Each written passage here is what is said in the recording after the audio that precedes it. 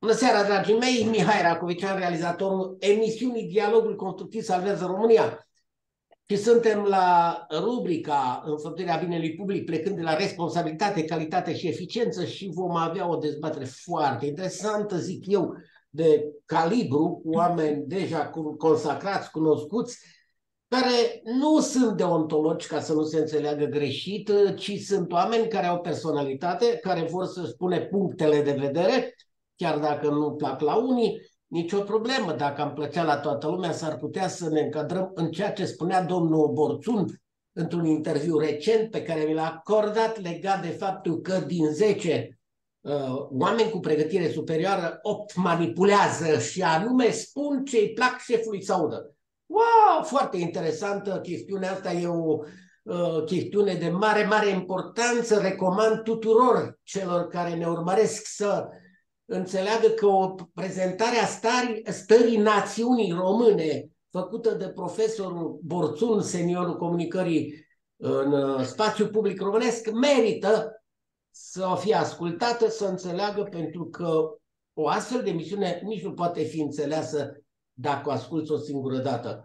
Recomand tuturor pentru că face bine la sănătate mentală. Avem nevoie fiecare dintre noi de asemenea lucruri. Și în această seară vom continua uh, dezbaterea noastră problematica fiind etica, virtuțile morale implicate în deciziile luate de funcționarii publici. Evident că nu putem să avem pretenții numai de la ei, dar dacă noi nu oferim nimic, nici ei nu ne dau. Dar noi trebuie să știm ce reprezintă și ce pot să ofere funcționarii publici. Și în această seară salutăm Bucureștiul prezent prin doamna Miruna Mureșan. Bună seara, bine ați venit! Bună seara, domnule Racovician, bine v-am găsit pe dumneavoastră și uh, invitații dumneavoastră.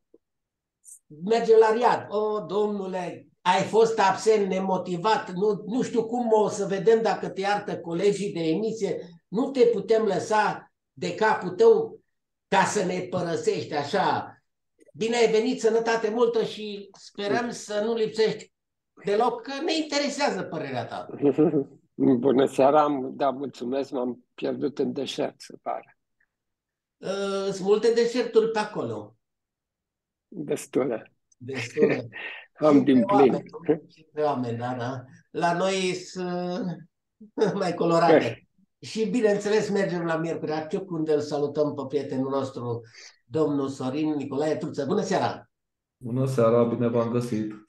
Și așa cum am uh, obișnuit în uh, de fiecare dată, ca să spunem așa, uh, în emisiunile noastre și vom cam institui regula asta pentru că am învățat o lecție de la domnul profesor Borțur că dacă nu repeți intenționat, s-ar putea lumea să te creadă uituc sau puțin plecat de acasă, dar eu sunt venit de acasă și aduc aminte câteva lucruri de esență pe care trebuie să le reținem. Și anume, Termenul de ministru provine din engleza medie, derivând de la un cuvânt uh, francez vechi, ministru, inițial minister, în latină, însemnând slujitor. Deci, dragii mei, haideți că putem să ne plecăm la mâini, că am identificat un lucru de mare esență, guvernul României e compus din slujitori. Și acum întrebarea e mai subtilă, ea cui slujesc? Haideți să mergem puțin de tot mai departe și ne-am propus să uh, dezbatem astăzi caracteristicile personale a funcționarilor publici în consolidarea unei națiuni. Dar până ajunge la subiectul ăsta, trebuie să spunem câteva cuvinte despre virtuțile morale care le implică în deciziile pe care funcționarii publici le au. Și acestea sunt analizate ca fiind optimismul legat de însuși conceptul de bine public, înțeles ca scop al actelor acestei categorii de profesioniști, curajul. Of, Doamne, Doamne, dă-ne curaj, decență și respect, constă în capacitatea de a acționa drept, chiar dacă presiunile politice, mă, la noi se fac presiuni politice, Doamne, Doamne, și cererea de favoruri din partea partidelor, organizațiilor, politicienilor sau chiar a celor apropiați sunt uneori copleșitoare. Ba, eu nu, la noi am auzit de filiere. De la deputatul X către Racovician. Pe ce filieră ai ajuns la ministru? Băi, fratele meu, asta nu-i presiune, depresiune a moralei. Corectitudinea este asociată cu datoria supunerii față de lege. Nimeni nu este deasupra legii. Bun, asta e din... Ah, de unde a fi citat ăsta? Din a, Constituția României. Nu fi aia. Empatia. A, despre empatie. Capacitatea de a te pune în situația celor care depind de deciziile tale. Cred că aceste subiecte trebuie să le reiterez. Adică în domeniul nostru se spune repetăm. Foarte des să spunem foarte clar, dragi români, așa cum spuneam înainte, dacă vreți să aveți parte de astfel de virtuți morale, trebuie să le devediți voi. Nu puteți să cereți dacă nu oferiți nimic. Și haideți să vedem ce sunt caracteristicile personale a funcționarilor publici. Le introducem pe rând și vreau să dăm drumul la lucrul ăsta și să spunem așa. Ei se află într-o așa numită zonă gri, în care nu poți să fii nici total altruist, orientat exclusiv pe interesul public, nici egoist, orientat doar spre interese proprii. Funcționarii publici lucrează în comunități în care au rude, prieteni, șefi, persoane de care sunt legați prin interese proprii. Lor li se cere să se orienteze neutru și detașat spre public. Prin urmare, ei pot să fie eroi luptători pentru sfânta cauză. Există eroi luptători pentru sfânta cauză, doamna Miruna, în domeniul funcționarilor publici? Uh, există, să știți. Există și uh, spun lucrul ăsta cu uh, foarte mult uh, optimism și bună credință în această afirmație. Nu cred că ar trebui să ne numim sau să îi numim chiar eroi, dar sunt niște slujitori ai binelui public și a, și a interesului public de seamă, să zic așa cred că încă mai există printre noi. Uh, cred că e o chestiune foarte interesantă, atâta timp cât într-un curs de etică se precizează că eroi, înseamnă că în subsidiar s-ar putea să trebuiască să fie eroi. Cum e, uh, Sorine, cu eroi ăștia? Mai multe categorii de funcționari. Unii care sunt foarte aplecați în ceea ce fac, unii care sunt mai puțin aplecați vis-a-vis de munca pe care o prestează, dar... Unii plecați, nu? Știm? Și unii plecați. Nu, problema este că ă, majoritatea funcționarilor din România, dacă stai să te uiți cu atenție, se consideră niște eroi. Adică ă, de multe ori aud ă, văicărări de genul cât de mult avem noi de lucru cei care lucrăm în în instituțiile ah. publice, parcă s-ar face voluntariat, parcă n-ar fi remunerați oamenii. Există tendința asta, dacă, dacă vă uitați cu atenție, o văicăreală din asta permanentă vis-a-vis de volumul mare de muncă care este copleșitor, dar de fapt nu volumul de muncă este copleșitor, A, ci... Aici vreau să te opresc și să te Așa cum ziceam și data trecută, incertitudinea asta de la o zi la alta și excesul ăsta de de reglementare despre care a vorbit și domnul profesor Borțun, vis-a-vis de faptul că noi ne aflăm într-o societate total anomică, că asta e societatea, societatea românească la ora asta, ă, generează această presiune pe funcționarii publici. Dar vis-a-vis de optimismul despre care ai vorbit la început, că ar trebui să caracterizeze funcționarii publici, tot mai ziceam înainte de emisiune, că am ascultat azi dimineață o emisiune la radio și se vorbea despre un sondaj din care rezultă că românii sunt pe locul 26 la optimism printre mm. popoarele lumii. Ceea ce, dacă stai să te gândești bine, e foarte bine. Adică înseamnă că sunt mulțumiți de foarte multe lucruri. Sunt fericiți. Sau suntem pe locul 26 la fericire.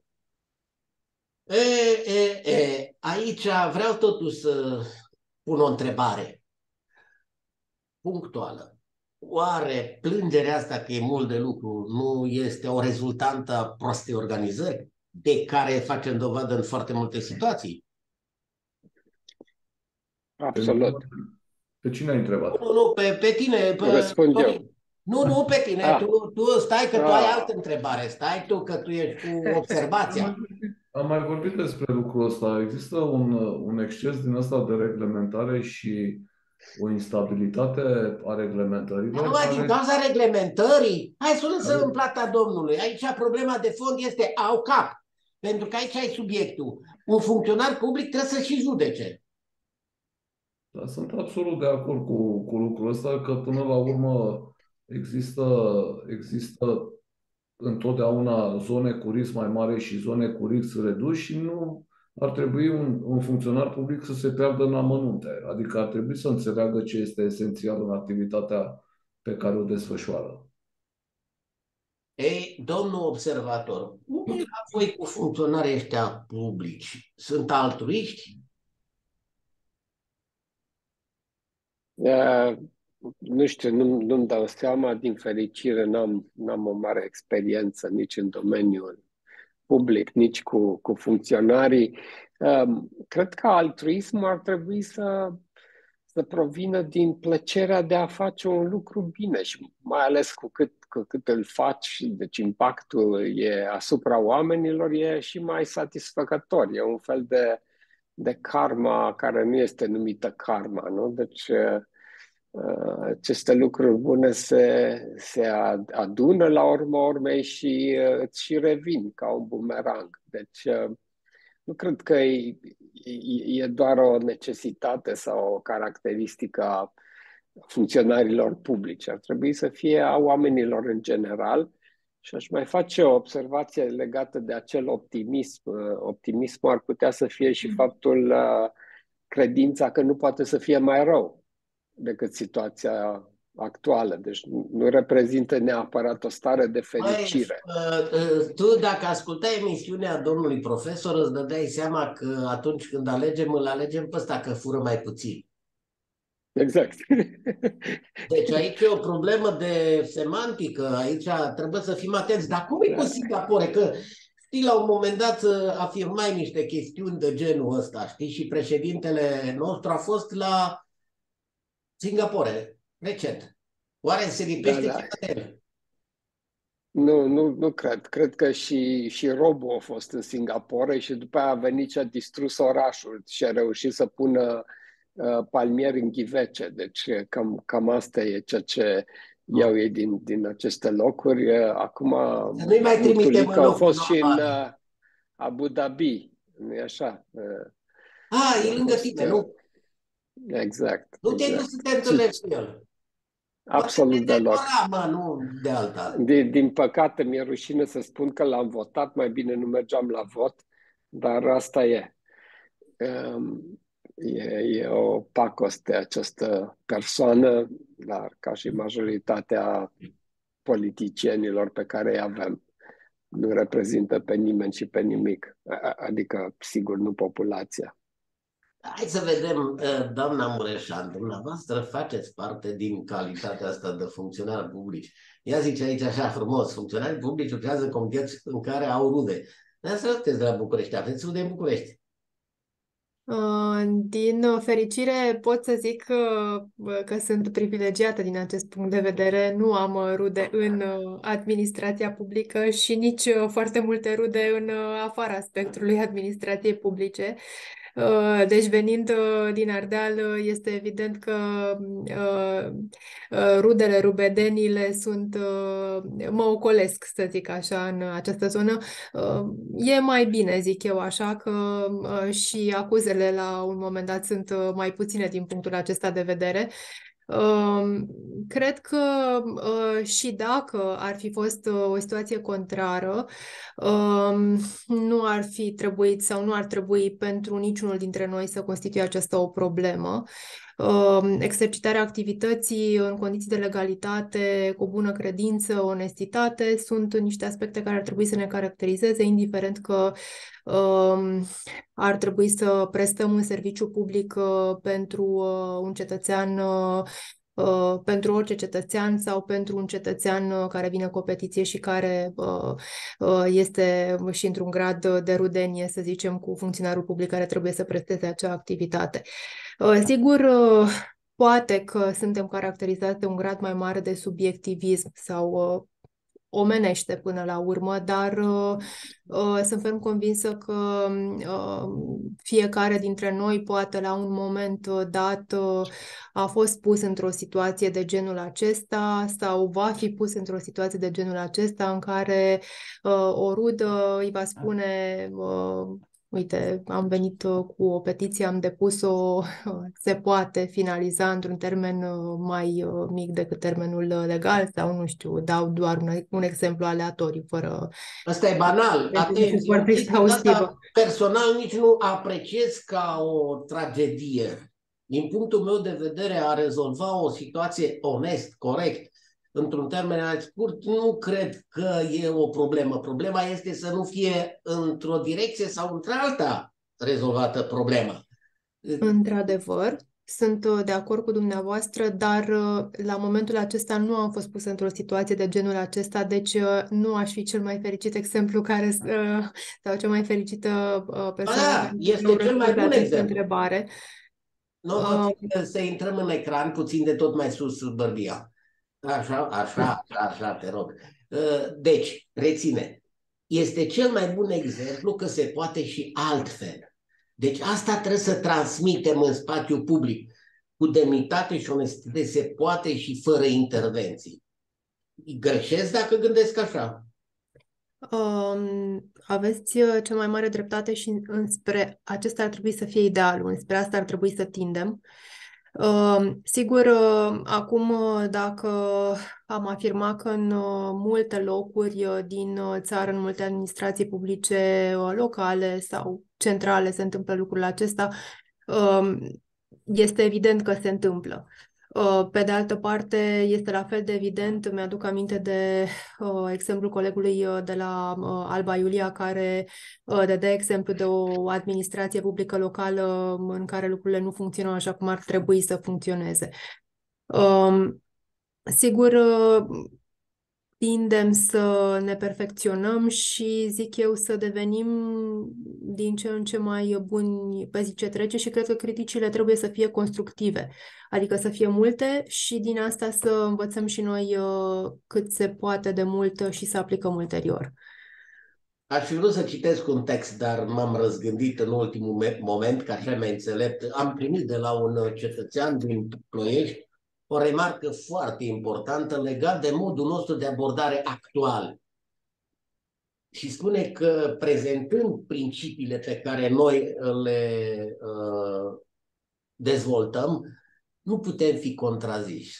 Și cu eleganță aducem în spațiu public anumite lucruri care pot să îndrepte lucrurile. Ești de acord cu mine, Sorin, sau nu? Pot îndrepta lucrurile prezentând oamenilor semnificația termenilor, impactul pe care pot să-l producă asupra conștiinței oamenilor. Mai degrabă instituțiile pe care pot să le utilizeze corect în relația cu funcționarii publici. Până la urmă, România a făcut eforturi mari să se alinieze statelor europene, dar dacă tot vorbeam de clasamente și dacă la nivelul de fericire suntem pe locul 26, mai e un clasament destul de trist. La consumul de cultură suntem pe ultimul loc în Europa. Și asta spune foarte multe și vis-a-vis de modul în care se întâmplă relații, interacțiunea dintre cetățeni și funcționarii publici, pentru că totuși Uh, în statele cu un nivel mai ridicat de cultură a societății, lucrurile se întâmplă în mod firesc de la sine. Cum e, domnul Eugen, cum e cu chestiunea asta legată de pile și relații? Nu știu, văd, văd și modul de, de abordare din emisiune și Uh, mi se pare interesant că mm, întotdeauna avem impresia că um, facem favoruri sau, sau um, oferim privilegii. De fapt, eficiența muncă nu este un favor pe care îl facem celui A, care beneficiază de rezultate. Excelentă observație. Excelentă. Și, și vreau să zic că nu este vorba doar despre funcționarii publici, că și eu am vreo câțiva zeci de oameni care lucrează pentru mine și au uh, această atitudine în care de ce să fac ceva ce mi-a 10 minute acum, că de fapt, uh, cum se zice, eu n-am un termen legal, dar termenul legal îmi permite să rezolv problema în 5 zile. Am zis, pe mine nu mă interesează termenul legal, o fac imediat. Fiindcă cei care ridică astfel de probleme uh, deci se așteaptă la o rezolvare, nu? Nim- nimeni nu vrea da, să Și care a fost reacția? Puțin, Eugen, foarte interesant ai punctat. Vreau să-mi spui care a fost reacția individului în momentul când ai pus o astfel de a, a, chestiune în față. Uh, bun, ei mă aprobă pe mine fiindcă eu sunt clientul, ei sunt contractanți care lucrează pentru mine, deci n-au cum să mă contrazică. Dar au făcut-o fiindcă mă țin de ei. Este o problemă de organizare, pur și simplu, de, depinde de cel care este Um, cel care este responsabil de acest grup de oameni și cum îi conduce. Nu există astfel de, de limite prin care ceea ce poți să faci în 5 minute, poți să o faci în 5 zile. De, de ce ar fi asta o normalitate? Și de ce ne uităm că dacă, de fapt, cele 5 minute sunt, sunt uh, efectuate în 4 zile, e mult mai bine și ar fi un favor. Nu este niciun favor, este o problemă de, de lipsă de eficiență în organizare, în toate sistemele. Nu, nu contează. Și cum, cum dădeam acum două săptămâni exemplu Singapore. Deci acolo au optimizat aceste fluxuri. Și, și oamenii care lucrează în, în aceste fluxuri, de fapt, se iau la întrecere în eficientizarea în continuare a fluxurilor. De, deci, nu știu, e, e cum, cum să zic, cred că suntem prea răbdători și nu, nu ne cerem această normalitate și această eficiență. Poate nu înțelegem, Eugen. Aici e problema. S-ar putea să nu înțelegem. Ă, doamna Mureșan, am sesizat o chestiune de mare, mare tragedie. Personal așa interpretez. Când întâlnești un om că își face datoria, începi să te bucuri. E o situație pe care eu nu o înțeleg. Oare nu mai avem uh, simțul valorilor sau uh, e bine că ne mai întâlnim și găsim oameni care își fac datoria. De ce ne-am pierdut dorința de a face binele public? Um, ar putea să fie mai multe cauze. Poate și din uh, una dintre ele ar putea să fie supra, supraîncărcarea pe o schemă de personal uh, mult subdimensionată. Um, de exemplu, uh, uh, acum uh, am uh, avut de făcut niște raportări pentru Curtea de Conturi, care este în control uh, în instituție și am avut niște solicitări uh, din partea Curții de Conturi vis-a-vis de situația litigilor. Uh, nu o să vă dau foarte multe amănunte de insight, dar ce vreau să subliniez aici este că pe un număr foarte mare de dosare și uh, asta înseamnă uh, aproximativ uh, 1000 de dosare gestionate de către direcția juridică uh, pe intern uh, lucrează opt consilieri juridici. Este un uh, detaliu, uh, adică dacă, da, teoretic dacă ai explica cuiva că un consilier juridic trebuie să gestioneze peste 100 de dosare pe un serviciu de contencios administrativ, practic ai spune lucrul acesta este aproape imposibil. Sigur. Se întâmplă. Uite, de exemplu, întâmplă la Reșița, pentru că noi acolo ne-am cunoscut, judecătoria Reșița, spre exemplu, are trei judecători pe municipiu la judecătorie. Uh, ceea ce înseamnă o încărcare pe ședința respectivă de câteva zeci, poate chiar... Uh, Termene îngrozitoare. Deci, de exemplu, termenul din martie s-a dat în iulie în cel mai fericit caz. Oare cum ce se întâmplă aici? Totuși e o chestiune de organizare, de disfuncționalități pentru că știm, ai spus, acum... Aș vrea să, aș vrea să Imediat, mai... numai o secundă, un- numai o un secundă, aspect. pentru că ai introdus o problemă foarte interesantă, foarte, foarte interesantă, faptul că uh, nu avem suficient personal. Și totuși, la nivelul ministerelor, cred că există foarte multe persoane redundante. Um, pot să uh, confirm că la un uh, anumit moment pe parcursul uh, carierei mele am și mi-am desfășurat activitatea într-un minister, mai exact în Ministerul Dezvoltării, uh, pe o parte care se numea avizarea acte normative și la fel uh, m, am simțit tot timpul că sunt prea puțini oameni pentru volumul de muncă pe care îl aveam. Același lucru îl simt uh, și acum și aș vrea să fac o remarcă aici uh, uh, vis-a-vis de um, o situație care e un pic mai incomodă, e vorba despre o situație de superficialitate. În general am observat că oamenii uh, în momentul în care uh, li se dă puțin mai mult de lucru, nu neapărat sunt supraîncărcați, dar sigur, trebuie să răspundă unor cerințe profesionale conforme cu uh, statutul pe care îl au de funcționari publici asistenți, principali sau uh, superiori uh, și se depășesc anumite limite pe care ei le consideră normale, în sensul că nu vor neapărat să iasă din carapacea specifică, uh, automat folos- folosesc acest uh, leitmotiv. Suntem supraîncărcați, uh, vom încerca să ne găsim uh, o altă instituție publică unde teoretic se lucrează mai uh, puțin. Uh, M-am întâlnit de multe ori cu această uh, situație și chiar uh, a fost uh, la nivelul anului 2022 la noi un uh, aflux din acestea de plecări pe această situație că, de supraîncărcare efectivă. Uh, nu știu dacă asta este folosită ca, eu, cel puțin eu personal o văd ca fiind folosită ca o scuză uh, de suntem supraîncărcați, uh, nu putem să facem față. Uh, Deci plecăm într-o altă zonă unde poate suntem puțin mai confortabili cu noi înșine sau nu vrem să ne asumăm prea mult și uh, tot așa încercăm să emigrăm spre alte zone unde suntem mai uh, puțin uh, deranjați profesional, să zic așa.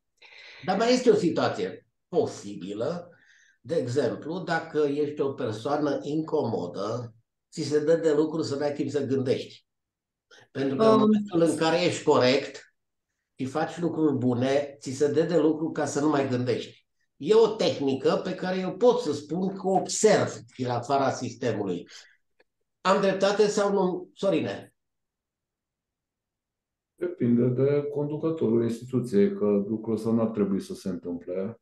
A, n-ar trebui să se întâmple, dar tu, se întâmplă. Tu ai vorbit de, tu ai vorbit de uh, oameni care sunt inutili și redundanți. Problema e că între timp, deci între timp, lucrurile au degenerat în sensul că activitățile, volumul mare de activități și o, o mare parte dintre activități au devenit inutile sau redundante. Deci nu prea mai găsești uh, funcționari publici, chiar dacă există o nostalgie a trecutului când în instituțiile publice era uh, timp destul de relaxare, ca să spun așa, și există o nostalgie după acele vremuri, mai ales a funcționarilor publici cu vechime, care tot timpul muncesc în speranța că mâine va fi mai liniște și se vor putea odihni.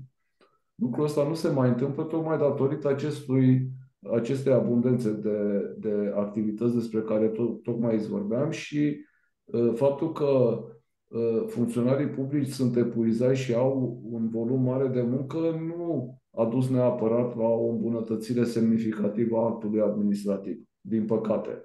Și asta vis-a-vis de actul de justiție, faptul că sunt mai multe, multe procese pe capul unui judecător a degenerat și actul de justiție, că eu văd ce sentințe se scot pe bandă rulantă și cum sunt ele motivate, adică tu te iei cu mâinile de cap.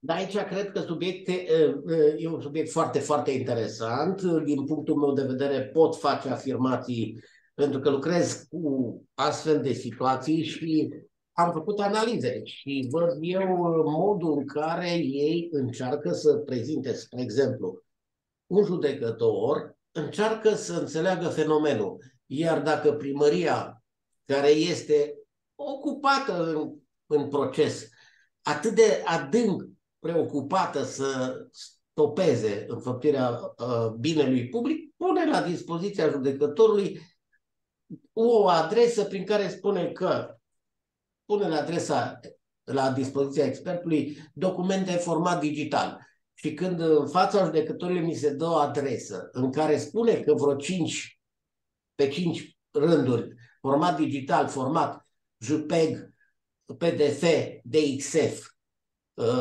și îmi dă doar în format analogic, cum pot să înțeleg eu, domnul uh, Eugen, e specialist în IT, fișierele sunt pe hârtie sau sunt pe suporți speciali digitali? Da. Evident, era doar uh, un subterfugiu, nu? Ca să întârzie și să creeze dificultăți. Deci nu e, e reaua credință sau, sau cum se numește. Um, da, nu, nu cred că există în aflarea adevărului ca să înțeleagă lumea cum se da, traduce. Da, da, da, normal, normal, dar uh, vezi că este o subminare a procesului de justiție tocmai pentru, pentru a-l aglomera, pentru a nu da posibilitatea ca uh, procesele importante să, uh, să meargă mai departe, să, să existe judecători care au curaj și claritate, etc., etc. Deci nu... Uh, da. E acel atac al instituțiilor. Mie îmi place un text foarte interesant și o să-l deschid acum, foarte interesant, pe care îl folosesc în foarte multe situații uh, și cred că e bine să îl vedem cum ar trebui interpretat acest text. Și vorbim despre limba română. Acest text scrie așa, legea 500 din 2004, privind folosirea limbii române în locuri, relații și instituții publice.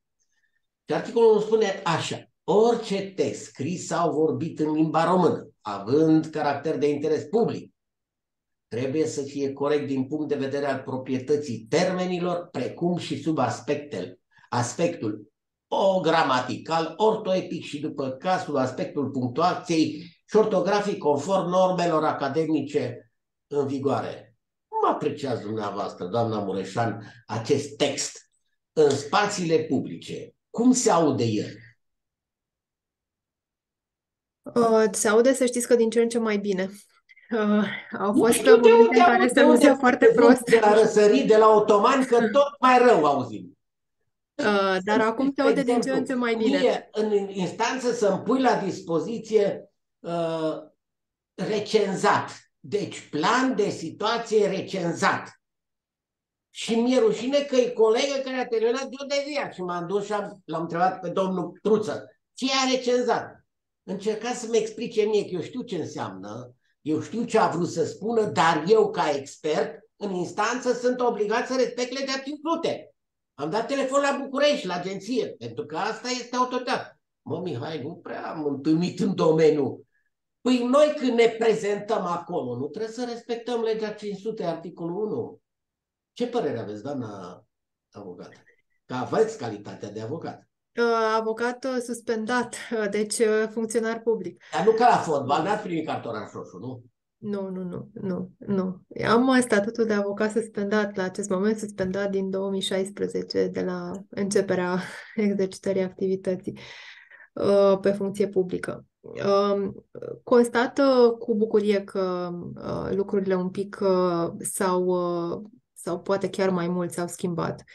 Um, în sensul că poate prin această um, faptul că au venit oameni mai tineri pe funcțiile publice, nu știu, poate este o explicație.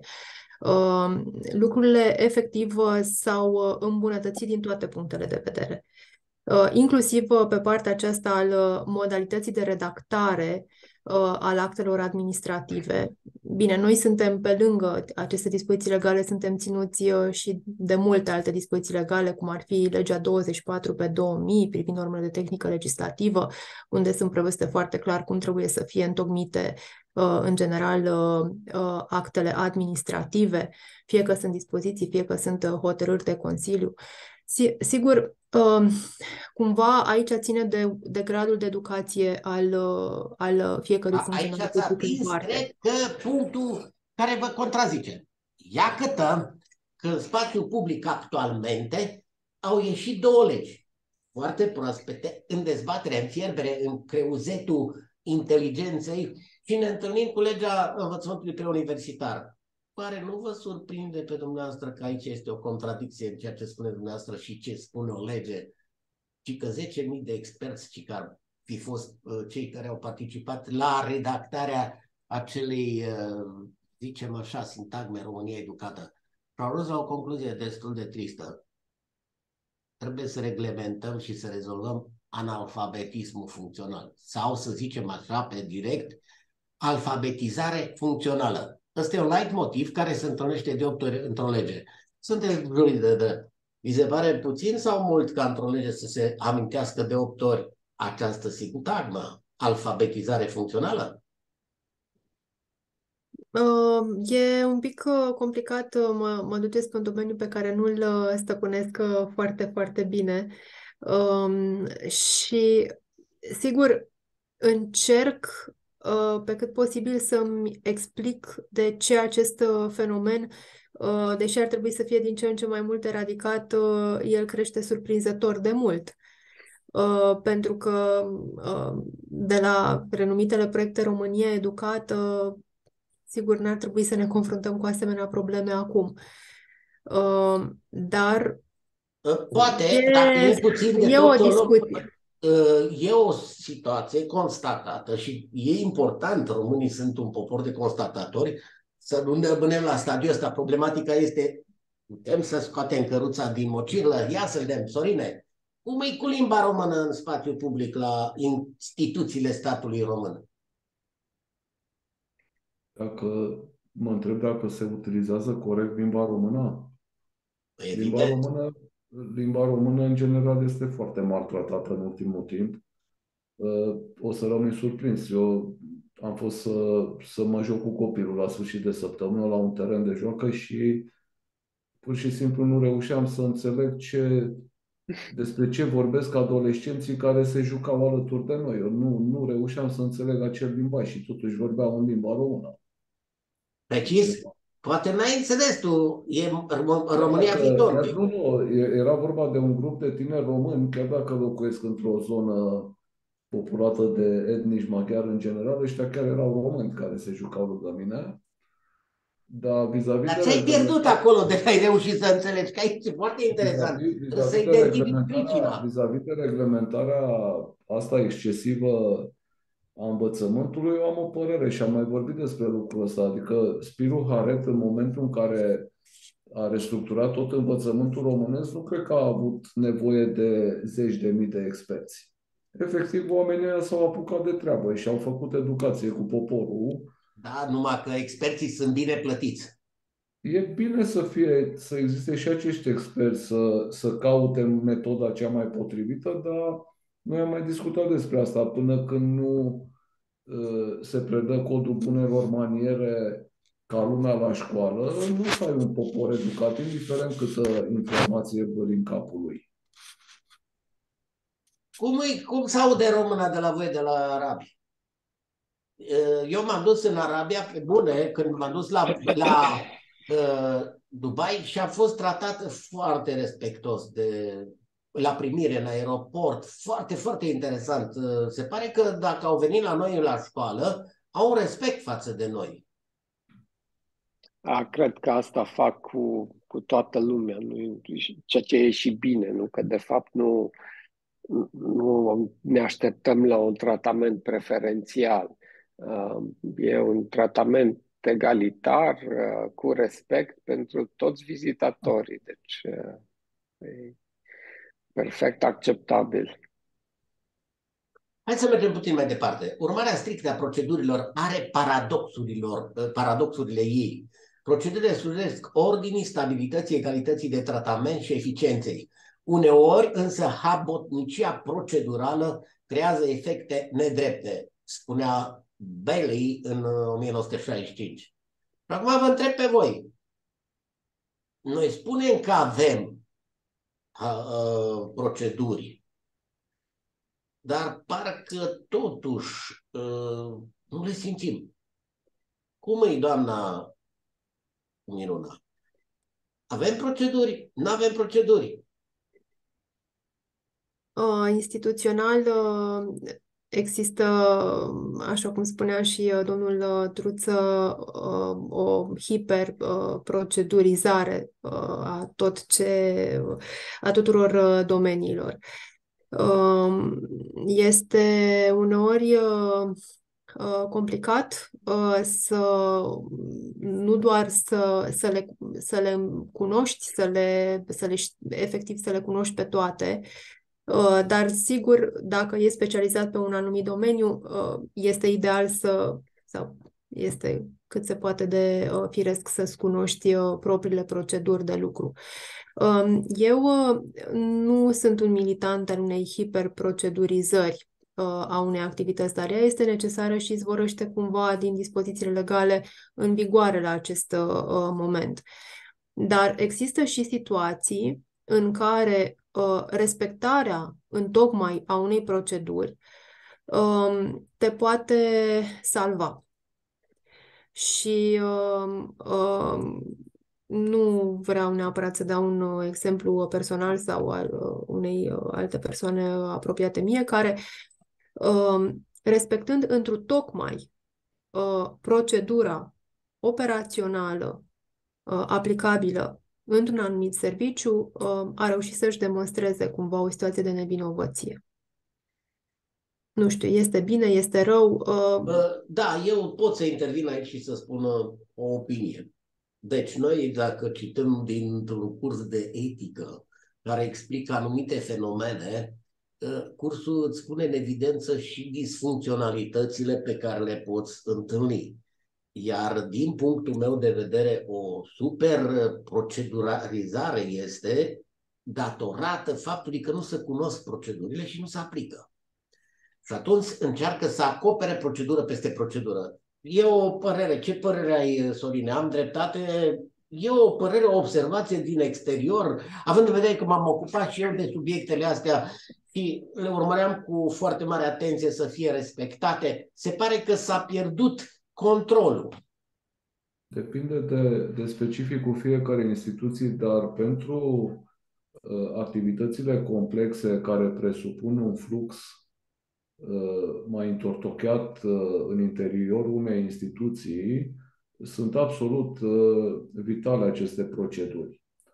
Ele, ele până la urmă Uh, au niște referințe normative, adică sunt o, o extensie a celor referințe normative pentru buna desfășurare a unei activități complexe. Ziceam de activitățile complexe. Uh, dar aici intervine problema în momentul în care tu uh, procedurezi și lumea începe să se rutineze și să lucreze după acea procedură, se schimbă referința normativă și nu mai poți să ții pasul, pentru că toate aceste proceduri trebuie revizuite de câte ori se schimbă referințele normative, numai că ele se schimbă atât de des încât există riscul la un moment dat ca reglementarea să fie alta decât procedura pe care o aplici. Aici e un subiect de discutat și hai să-l vedem pe Eugen, el care este un tip organizat, care e un tip uh, da. foarte bine uh, structurat, pentru că ești ITist, recunoști, nu? Uh, n-ai cum să fie altfel. Uh, sunt necesare procedurile sau nu? Uh, de, depinde de context. E același lucru pentru care din când în când unii oameni își mai pun cheile de la mașină în, în frigider. Fiindcă nu, nu folosim întotdeauna Uh, creierul în, într-un mod investigativ. Deci încercăm să salvăm această putere cerebrală uh, creând niște, niște scurtături. La fel și procedurile. De, de, de ce să descoper to- sau să descoper toți pașii pe care trebuie să-i parcurg pentru a rezolva o problemă dacă problema a fost rezolvată și optimizată de către, de către alții. Deci, în mod evident, sunt necesare, conferă o anumită structură, sunt ușor de urmărit, de auditat, deci le prefer, dar în același timp de, depinde și de, de, de speța cu care, pe care o dezbatem sau pe care o avem de, de rezolvat. Uneori procedurile creează o astfel de rigidizare a, a modului de, de gândire și dacă nu găsim cele trei sertare, deci sertarul potrivit în a aranja speța, rămânem blocați. Deci toată această discuție despre eficientizare este legată de, de faptul că putem 80% să rezolvăm într-un, într mod eficient prin proceduri și 20% va lua 80% din timpul pe care îl petrecem. Deci cam, cam asta este deci, ecuația. Punctul meu de vedere îl găsesc aici și rămân ferm pe poziție că sunt necesare procedurile. De ce? Slujesc ordinii, stabilității, egalității de tratament și eficienței. Aici subiectul este că acel care coordonează subiectul ăsta numit proceduri creează instrumentul de control și de verificare a eficienței pe care o poate asigura un angajat sau un funcționar public, în așa fel încât el să nu greșească, să-și facă datoria, să vadă ce trebuie să facă, pentru ca să nu fie la liberul arbitru, la ceea ce spunea și domnul Borțun, ca să demonstreze uh, unor clienți la anumite instituții că vine la subaltern și spune, cum nu se poate. Și pe aia se duce la șef și șefii rezolvă și ai văzut că ți-a rezolvat. Aceeași idee pe care o am și eu. Deci consider că procedurile bine structurate, aici e foarte important de înțeles, bine promovate, însemnează progres, însemnează uh, ordine, înseamnă stabilitate, egalitate de tratament și eficiență. Ne mai interesează eficiența, doamna Miruna. Ne interesează și este principalul scop al activității noastre. Um, chiar principalul scop al activității noastre, pentru că uh, pentru a nu uh, se ajunge, știți, este foarte ușor. Uh, în general, uh, funcționarii publici trebuie să se lupte cu această sintagmă. Sunteți plătiți din bani publici, uh, deci uh, trebuie să uh, scăpăm cumva de această, uh, acest light motiv. Îl văd poate acum nu atât de des ca și în anii anteriori. Poate că încet, încet începe să se observe un, un fel de știu eu, mai multă sârguință din partea oamenilor care își desfășoară activitatea în domeniul public. Eu așa, eu așa percep. Dacă înainte această sintagmă sunt desplătiți din bani publici, nu stați sau trebuie să prestați sau uh, era uh, foarte mult folosită și uneori dureroasă pentru oamenii care într-adevăr își desfășurau activitatea cu bună credință. Există, nu există, în, în orice pădure există și uscături, știți că e o zicală românească, nu totul este perfect. Uh, ne-am dorit să fie așa, dar uh, Uh, văd că din ce în ce mai mult uh, percepția publică față de, de funcționar, față de uh, cel care își desfășoară activitatea în fața unui ghișeu sau trebuie să soluționeze o petiție fără a avea un contact direct cu funcționarul public și cu petentul, e îndreptat înspre o direcție puțin mai corectă, puțin mai transparentă, nu știu, începe să se simtă uh, acest, uh, acest aer de, uh, știu eu, de, de o percepție nouă a celui care își desfășoară activitatea în, uh, în acest domeniu. Uh, și zic eu că este de bun augur. Uh, eu nu prestez o activitate uh, cu publicul neapărat în sensul de a primi uh, petiții și de a soluționa sau de a avea o, o interacțiune directă, dar uh, uh, văd în rândul colegilor mei care fac lucrul acesta și, în general, uh, percepe fluxul petițiilor, pe modul în care uh, oamenii se adresează instituției publice, uh, depun solicitări, fac plângeri prealabile, conținutul acestor plângeri sunt semne de, de să zic așa, de, de bun augur. Sorine, hai să vedem și părerea ta. Procedurile slujesc o ordinii, stabilității, egalității de tratament și eficienței. Scopul lor în sine, din perspectiva mea, acesta este. De ce se denaturează din punctul meu de vedere, din punctul tău de vedere, să zicem așa, pentru că ai repetat de mai multe ori faptul că e prea multă reglementare, că... dar totuși, ele sunt sau nu necesare? Prietenă care din 2011 până anul trecut a lucrat ca și expert pe probleme de învățământ la Comisia Europeană și când a ajuns acolo, am întrebat-o cum se desfășoară lucrurile. Zice, în momentul în care m-am angajat, mi-au pus pe masă graful de proceduri și timp de 11 ani a lucrat cu aceleași proceduri. Nu s-a schimbat nimic. A zis că la un moment dat avea senzația că îi se spală creierul vis-a-vis de ce zicea Eugen, că era ca un robot din ăsta care aplica în permanență aceleași proceduri.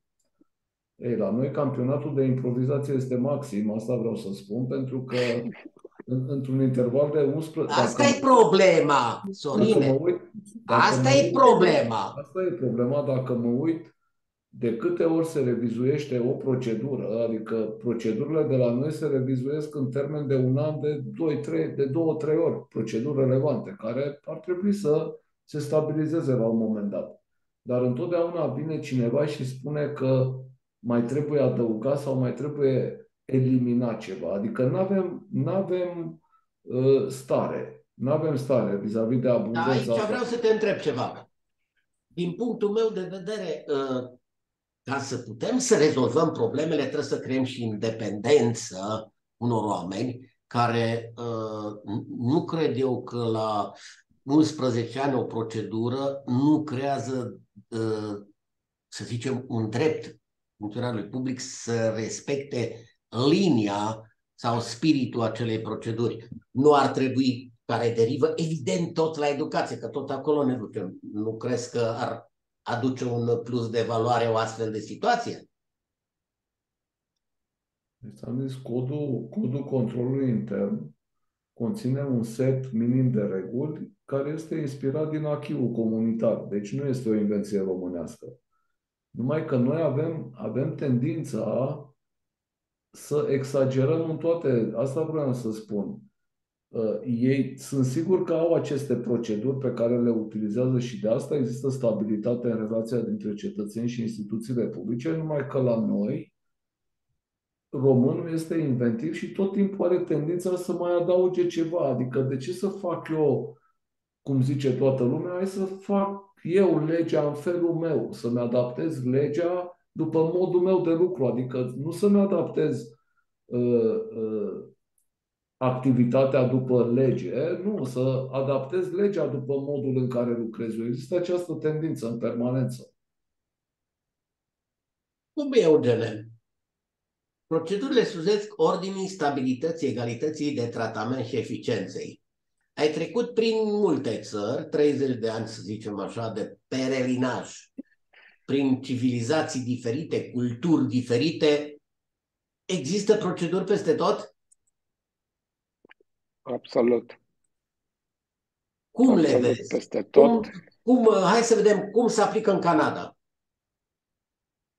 Ah, um, cum se aplică în Canada? Cred, în Canada este, deci nu acum, Canada a luat o raznă, cred că a ajuns, uh, uh, da, nu știu unde va ajunge, uh, dar uh, se scurge undeva jos, jos de tot cu acest Trudeau. Uh, dar în Canada exista întotdeauna disciplină de erau proceduri de exista întotdeauna o lentoare în domeniul, domeniul funcționarilor publici. Știu că am lucrat pentru uh, Ministerul de, de Finanță, de taxare acolo deci chiar efectiv cu funcționari publici. Nu erau extrem de eficienți cei care chiar intrau de pe băncile școlii sau colegiului, cum ar veni, se gândeau deja cum va fi când vor ieși la pensie și mai aveau încă 35 de ani de lucru. Uh, de, deci se pregăteau mental pe, exact, pe, pentru o, uh, nu știu, o comă prelungită sau uh, nu, nu, nu prea pot să-mi dau seama ce anume le, le trecea prin cap, dar și acolo le-am arătat că de fapt putem să ne, să ne amuzăm și prin tot ceea ce facem să să găsim o plăcere în, în ceea ce trebuie să întreprindem în, în fiecare zi și ziua va fi mult mai scurtă și vom fi mult mai fericiți, etc., etc. Dar, cum ziceam, depinde de colectiv, depinde de energia oamenilor. Hai să vedem în Singapore cu procedurile acolo. Uh, cum, cum ziceam, deci, într-adevăr, guvernul acolo este extra eficient și Um, cred că începe de la faptul că ministrii sunt plătiți la nivelul uh, CEO-urilor din, uh, din companiile uh, private, deci uh, cu milioane de dolari pe an, uh, și totul se scurge în jos. Deci, deci această um, meritocrație bine plătită este reprezentată la toate nivelele și Uh, există și acea onoare a asiaticilor în a, în a face un lucru bine și eficient. A, deci educația, putem să spunem că ea e generatoarea. Și acum cum găsești tu Europa? Europa o cunosc prea puțin ca să, să o găsesc. Cum ziceam, deci în, în România am cât de cât experiența celor doi ani pe care i-am petrecut recent acolo. Um, nu știu, întotdeauna e, e acel optimism de care vorbea Sorin la început. Ah, se, se, se efectuează o schimbare, o să fie ceva mai bine decât a fost și după aceea revenim destul de repede sau cădem în această letargie, da, da, încă nu, încă nu chiar imediat, nu în șase luni, nu într-un an, nu în doi ani. Și după care trecem prin acest ciclu de patru ani nu, de alegeri și zicem, nu nimic, următorul va fi mai bine. Da, e, e o în, consecință destul de sumbră în zona gri pe care o și descrie cursul acesta. Pentru data viitoare m-am gândit că un subiect de mare importanță introdus în domeniul ăsta se numește caracterul. E o chestie de esență, pentru că caracterul, ca să zicem așa, este o trăsătură pe care o are fiecare cetățean. Fie că e funcționar public, fie că este cetățean de rând, fiecare uh, trebuie să aibă niște chestiuni legate despre această uh, noțiune, caracter. Mi se pare o temă extrem de interesantă, va fi probabil mai lungă ea pentru că aș vrea să o discutăm, să o dezbatem, să chiar o exemplificăm, să vedem, să ne alegem câte un uh, om de caracter din istorie, poate chiar din contextul în care ne găsim, E o propunere, mă gândesc la acest subiect că e foarte interesant și e foarte important să avem exemple. În finalul acestei emisiuni aș vrea ca fiecare dintre dumneavoastră să conchidă emisiunea. Doamna Mureșa. Um, a fost, uh, din punctul meu de vedere, ca și în dățile anterioare, um, o temă extrem de interesantă și extrem de uh, inovativă, să zic așa. Um, cred că de fiecare dată uh, este loc de mai bine, dar nu ar trebui să fie doar așa niște cuvinte, știți, simple cuvinte uh, pe care uh, uh, le folosesc eu sau uh, uh, alte persoane, ci într-adevăr, dacă puțin am crede că lucrurile se pot schimba în bine, se va și materializa aspectul acesta. În mod cert și asta Ar trebui de să noi. fim sinceri cu noi înșine uh, și uh, uh, în același timp această sinceritate să încercăm să o extrapolăm și să o, și să o exteriorizăm uh, uh, mai mult uh, și uh, să ne ferim cumva de, de superficialul acesta care, sigur, ne înconjoară și îl vedem foarte clar, e, e, cu, e, e ușor de perceput cu ochiul liber. Uh, trăim vremuri complicate, știți cum zicea și uh, Caragiale, vremuri uh, uh, destul de, de nesigure, dar uh, cred că ceea ce ar trebui să confere uh, siguranță, și acum mă, mă refer strict la, la această profesiune, la această funcție publică, uh, și la oamenii care sunt în spate. Știți că funcționarul public este un om, în primul rând, nu este așa o uh, chestiune abstractă despre care discutăm. Uh, cred că această credință personală în mai bine, uh, în mai binele profesional, uh, bineînțeles, ar trebui să ne anime și ar trebui să, să fie o chestie de sinceritate, nu doar niște cuvinte folosite, efectiv trăit lucrul acesta. Mare, mare adevăr, mare, mare, mai important. Și eu zic că dacă vom continua să dezvoltăm subiecte de genul ăsta, va, vor fi oameni care vor uh, deschide urechile și, bineînțeles, din nefericire, e mai greu să asculți lucrurile bune decât cele de cancan. E o părere. Ce zici, Sorine? Cum conchizi tu emisiunea? Eu conchid emisiunea cu ce a zis Carol I, că românii se organizează greu și se reportă împotriva celor care vor să-i organizeze. Am parafrazat. Cam așa ceva a zis Carol I și până la urmă, vis-a-vis de procedurile despre care ai vorbit, nu știu dacă sunt o doleanță a poporului. Ți-am mai spus, astea sunt niște, niște chestii importante și să terminăm într-un Dar e greu, greu să înțelegem, să distingem lucrurile bune de rele. Asta e o chestiune de mare, mare importanță. Terminăm cu vorba românului, sănătos să fim și mai bine un cântec vesel să cântăm. Deci cam asta e la noi. Eugen? Uh, da, mă, mă gândeam la această eficientizare și la proceduri și de fapt, întotdeauna încerc să le, le propun celor care vreau, vreau să-i motivez în a fi mai buni sau mai eficienți. Um, le arăt, de fapt, uh, le dau un exemplu care și pentru ei este evident. De, de exemplu, uh, cei care, care preferă să ia mașina ca să ajungă la servici, în, în mod normal își vor găsi calea cea mai eficientă pentru a face acest, uh, acest traiect și nu vor alege întotdeauna locul în care vor ști că vor fi prinși în trafic. Um, deci, efectiv, noi ca, ca ființe umane încercăm să trăim într-un mod eficient, să nu pierdem timpul, dar, dar această metodă nu o aplicăm în mod constant.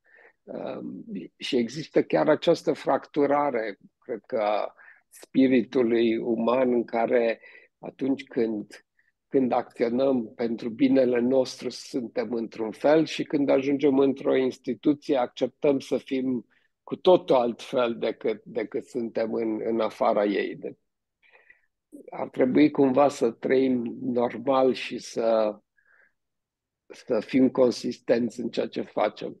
Deci, tema propusă cred că e potrivită. Caracterul cred că e foarte important să începem să-l dezvoltăm, să vedem de ce este necesar. Și bineînțeles că în seara asta voi conchide cu ceea ce Biblioteca lui Dumnezeu ne oferă într-un sala a lui Moise. Învață-ne să ne numărăm bine zilele ca să căpătăm o inimă înțeleaptă, procedurând corect, explicându-i ce trebuie să facă omul, eficient, bine, ordine, disciplină, Evident că pot exista paradoxuri. Pe unii nu-i poți lămuri și mulțumi că lor nu le place nici ordine, nici disciplină, nu înțeleg ceea ce eficiență. Unii sunt în funcție de necesități în funcție de responsabilitate. Unii nu înțeleg că, de exemplu, nefăcându-ți un proiect de țară, nu vei avea viitor asigurat pentru copiii tăi, ești pe ultimul loc la multe pentru simplu motiv că motivezi neputința. Iată de ce facem apel la toți românii de bună credință să se trezească și să vină în concertul ăsta magnific și să-l citesc pe domnul Borțun, să nu ne mai lăudăm sau să ne popoțonăm cu tot felul de reușite, care de fapt sunt amăgiri. Și de aceea, dragii mei români, vă îndemn să vă înhămați la muncă, să construim grădina Maicii Domnului care este în România. Fără muncă nu-i cunună, nu-i răsplată, nu-i un viitor. Pentru copiii copiilor voștri. Ce lăsăm?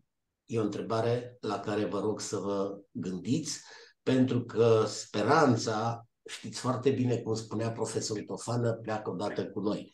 Eu sper ca într-un viitor bun să putem să spunem că totuși educația poate rezeta România, că procedurile își au locul lor, iar caracterul pe care trebuie să-l dovedim ne poate duce pe un tărâm al fericirii.